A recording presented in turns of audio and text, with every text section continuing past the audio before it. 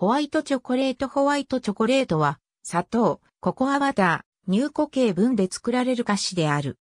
ココアバターの融点は、ホワイトチョコレートが室温で固体を保つには十分高く、口の中では溶ける温度である。そのため、ホワイトチョコレートはミルクチョコレートと似た外見を持つ。カカオマスに含まれている口溶けの良い油分を主体とし、ココアバターから苦味のある褐色部分を除去して作られている。そのため、味は普通のチョコレートと比べかなり甘さが目立ち、添加される脱脂粉乳のためにややミルキーでもある。褐色原料の除去により、チョコレートの持つ抗酸化成分も取り除かれているため、保存性は普通のチョコレートよりも低い。1930年代、ホワイトチョコレートミルキバーは、スイスの会社ネスレによってヨーロッパで発売された。米国では、ヒーバートキャンディーズが1955年に最初に大規模に発売したが、この製品が欧州でちょうど1年前に作られ始めているのを見て、最初に生産したのはマースである。米国ではホワイトチョコレートとアーモンドの粒を含むネスレのアルペンホワイトチョコレートの販売で一般的となった。1967年に日本で最初のホワイトチョコレートが六花亭より製造開始された。英国ではキャドバリーで販売された。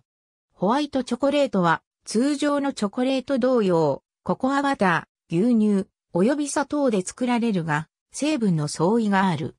菓子コーティング用のものは安価な液体、または水素添加植物性脂肪で作られるため、ココアの成分は全く含まれない。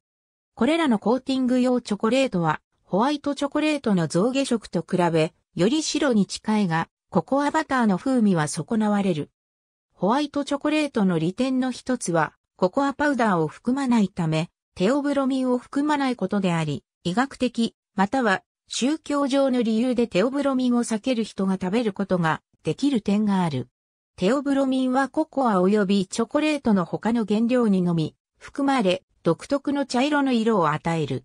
ホワイトチョコレートと対照的に、ダークチョコレートは多量のココアパウダーを含むため、多量のテオブロミンが含まれる。ミルクチョコレートに含まれるテオブロミンは、チョコレートの色の濃さに依存する。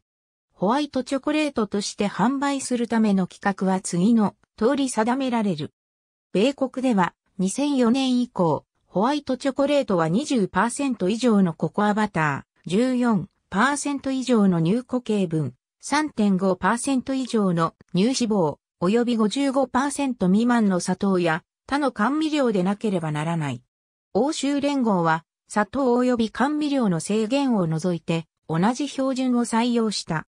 日本ではカカオ分はカカオニブ、カカオマス、ココアバター、ココアケーキ及びココアパウダーの水分を除いた合計量を示す。このため、ココアバター以外を含まないホワイトチョコレートも次の純ミルクチョコレート生地の規格に該当する。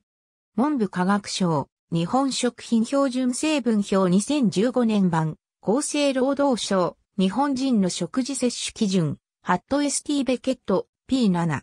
ザワールズベストホワイトチョコレート、ページに、ザヒストリーオブホワイトチョコレート。グルメフードマガジンウェブサイト、ザネブル、2018年9月26日時点のオリジナルよりアーカイブ。2018年9月26日閲覧。エイベールキャンディーズ、ハットチョコレート類についてチョコレート類の表示に関する公正競争規約、日本チョコレートココア協会。ありがとうございます。